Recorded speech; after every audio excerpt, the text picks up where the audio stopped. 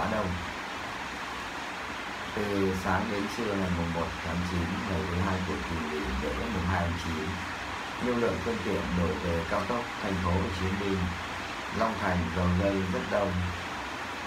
Lực lượng ngành chức năng phải đóng, mở lối cao tốc để điều tiết.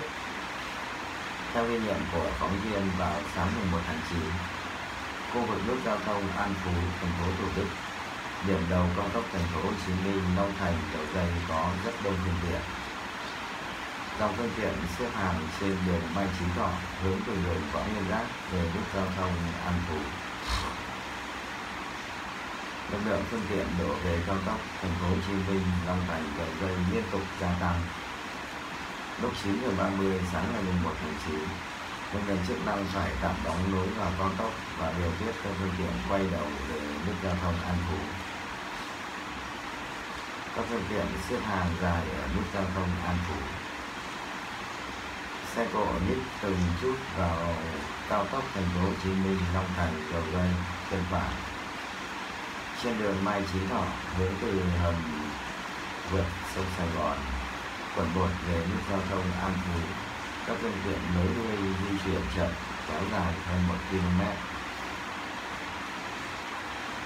dòng à, phương tiện xếp hàng kéo dài ở đường vào cao tốc thành phố Hồ Chí Minh.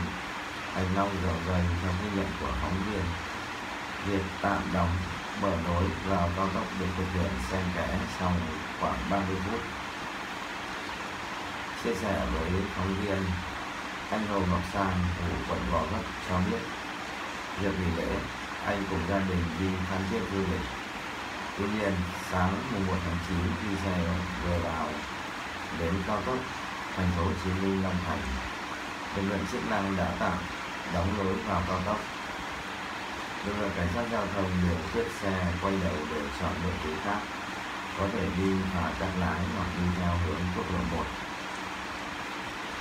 thật nhiều gia đình tôi, thật sự gia đình tôi tốn rất nhiều thời gian, anh sao nói.